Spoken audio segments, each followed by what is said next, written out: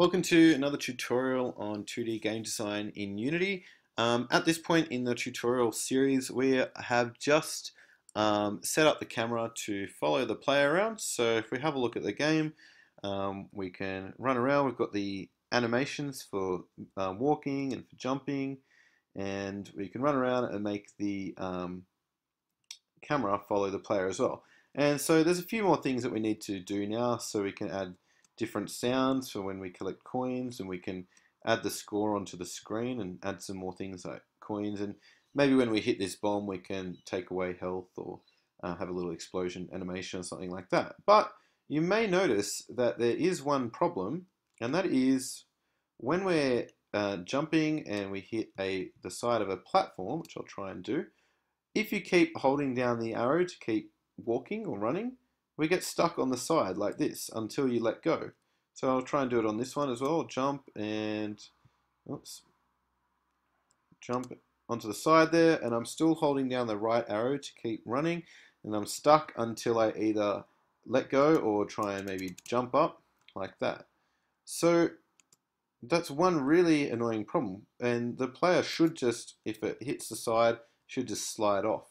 Okay, so it's actually quite an easy fix and it's using something that we've already worked with before in this series and that's physics 2D materials. So what we can do, we've already got a folder here called materials. I'll go into there, uh, I'll right click and click on create physics 2D material and I'll just call this one player because it's going to be used on the player. And basically what we need to do is just set the friction to zero. So if we set the friction to zero, it's not going to affect the way that the player can walk or run around the scene because that's all set up in um, with the forces we're using in the scripts and um, with the rigid body and everything. So it's not going to affect any of that, but it will allow the player to, um, when it comes up and hits the side of either a wall um, or a um, plank or something like that, then the player should just slide right off. So we'll set the friction to zero, and then we'll just go to the player object in the hierarchy, scroll down until you see the player, uh, the collider that's on the player. So I've got a polygon collider, and at the moment there's no material there, it just says none.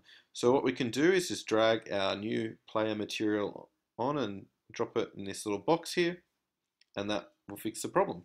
So let's go and play it. And now when I jump, and if I hit the edge of a plank, I just slide right off. Okay, so no more getting stuck on the edges of any of those planks. Just slide straight off. Okay, so that's quite an easy fix. That's all for this tutorial. So we've finished up with um, camera movement and and fix that little problem. So in the next few tutorials, we're going to be moving on to um, adding some more objects to the world and working with levels, adding um, sound effects, um, scoring, and UI components. That's all for now though. Thanks for watching.